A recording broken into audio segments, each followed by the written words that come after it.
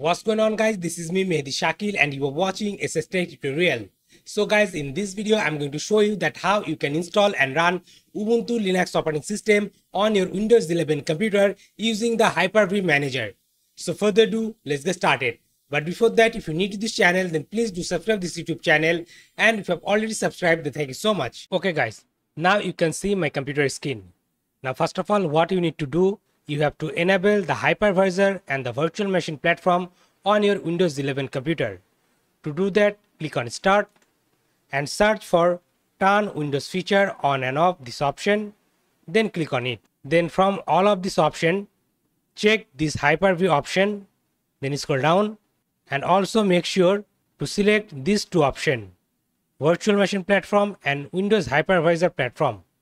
Then click on OK and your computer will restart. I had already enabled it, so I'm not going to do it again. Now after that, click on Start and search for Hyper-V and here you will get the Hyper-V manager and here you can see we get another option called Hyper-V Quick Create. Click on it and from here by default you can install all of this operating system on your hypervisor from here. If you have any hypervisor machine locally, you can select the local installation option, then select the virtual hard disk. For this video tutorial, I am going to install the Ubuntu 22.04 LTS on Windows Hypervisor. Here you can see all the detail about this machine. You can click on more option if you want to rename it and select the switch. By default, I'm going to keep it default switch so that I can get the internet connection into this Ubuntu 22.04 LTS virtual machine. Now after selecting your virtual machine, click on create virtual machine. And now it's going to start downloading the required files to install the Ubuntu operating system on your Windows 11 computer using the Hyper-V virtual machine. It's gonna download all the files. So it will take some time. So you have to wait until the downloading has been completed.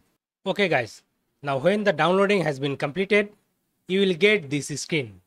Here you will get two buttons, connect or edit setting. So click on connect and it will open up the Ubuntu virtual machine like this.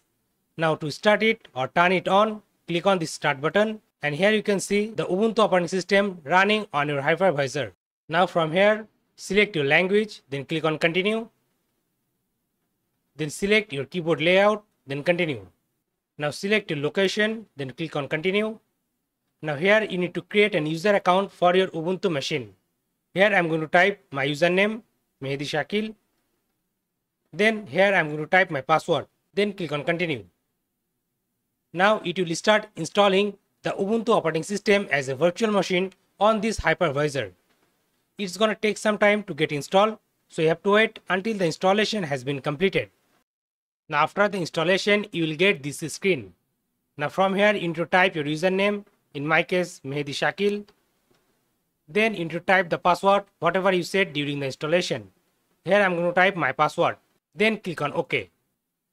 And guys, here you can see, now I am running the Ubuntu 22.04 LTS version as a virtual machine using the hypervisor on my Windows 11 computer. So guys, like this, you can easily install and run any virtual machine on your Windows 11 computer using the default software called Hypervisor of Windows 11. So guys, that's all for today. I hope you like this video. If you really like this video and enjoyed this video, then please give it a big thumbs up and share this video with friends. And guys, if you're new to this channel, then please do subscribe this YouTube channel and don't forget to press the bell icon to get all the latest upcoming video tutorial notification.